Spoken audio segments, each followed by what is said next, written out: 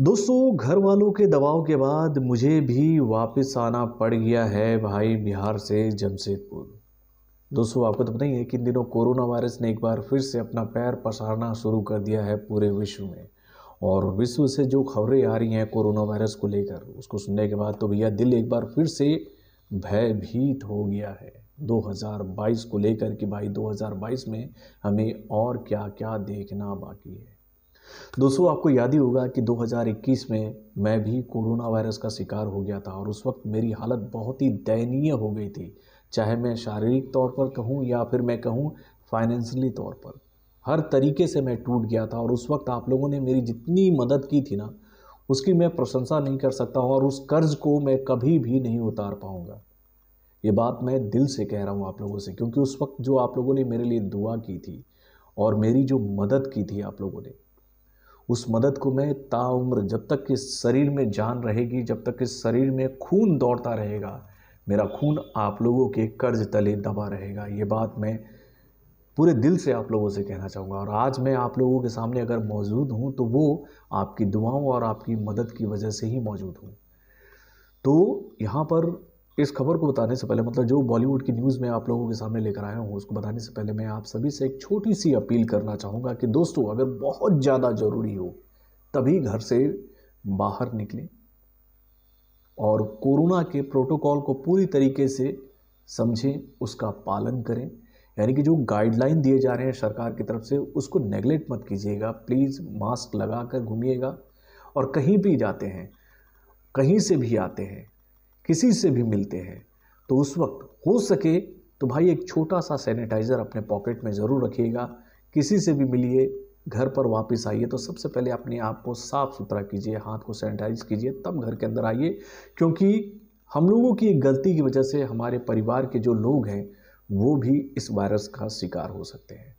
तो ये मेरी छोटी सी अपील है आप लोगों से, और ये अपील भाई, हम सभी को सुरक्षित करने के लिए ही बताई जा रही है सरकार की तरफ़ से भी और मैं भी आप लोगों से इसी बात को ध्यान में रखकर ये अपील कर रहा हूँ। क्योंकि मैंने जो झेला है 2021 में और मेरे कई सारे मित्रों ने भी झेला होगा, जिनको ये कोरोना वायरस हुआ होगा तो वो जानते होंगे कि ये बीमारी कैसी है और कितनी खतरनाक है। दोस्तों, पता नहीं कोरोना वायरस कहाँ से आया, किसने बनाया, मुझे तो नहीं नॉलेज है, लेकिन भाई, इस कोरोना वायरस को लेकर यही बात कही जाती है कि भाई ये उत्पत्ति किसी के द्वारा की गई है। और मैं उस विकृत मानसिकता वाले इंसान को लेकर यही कहूँगा कि वो कितना नीच, कितना कमीना, कितना गिरा हुआ इंसान होगा जो कि अपनी महत्वाकांक्षाओं को पूरा करने के लिए, इंसानियत को ख़त्म करने के लिए उसने ये कदम उठाया मेरे भाई। उसके लिए भी मैं ये बदुआ नहीं दूँगा कि भाई उसको कोरोना हुआ और कोरोना की मौत वो मरे। क्योंकि भाई कोरोना जान ले सकता है, किसी की जान नहीं दे सकता है। और दोस्तों, कोरोना वायरस की वजह से अब तक कितनी लोगों की जान जा चुकी है। और आप सोचो, जिन लोगों के परिवार में, जिन लोगों के परिवार ने किसी को खोया है, वो कितनी बदुआएँ दे रहे होंगे उस इंसान को जिसने इस वायरस को बनाया है।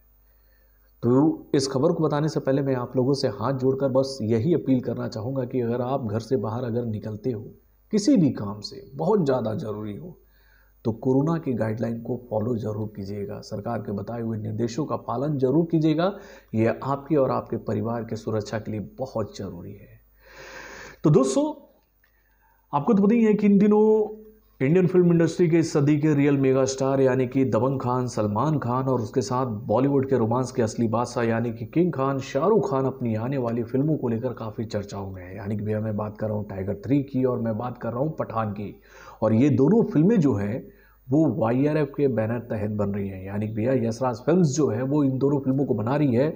और इन दोनों फ़िल्मों को लेकर जो जानकारी हम लोगों के सामने आई है उसमें जो सबसे बड़ी खबर सामने आई है कि भैया इन दोनों फ़िल्मों को बनने में देरी क्यों हो रही है और इस देरी की वजह से किस फ़िल्म का रिलीज़ डे डेट में डिले होने वाला है।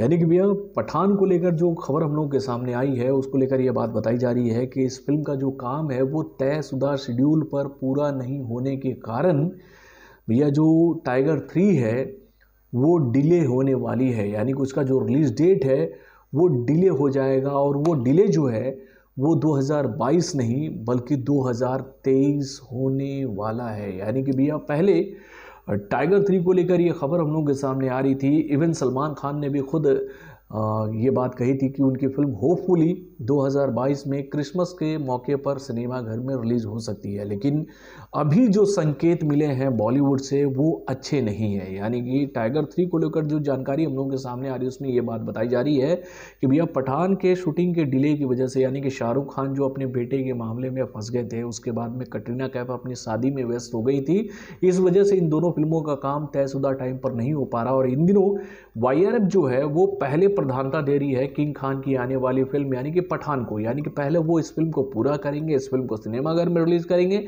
देन उसके बाद में वो लोग टाइगर थ्री के प्रोसेस को ऑन करेंगे, यानी कि उस फ़िल्म के काम को कंप्लीट करेंगे और उसको उसके बाद सिनेमाघर में लाने की तैयारियों में जुटेंगे।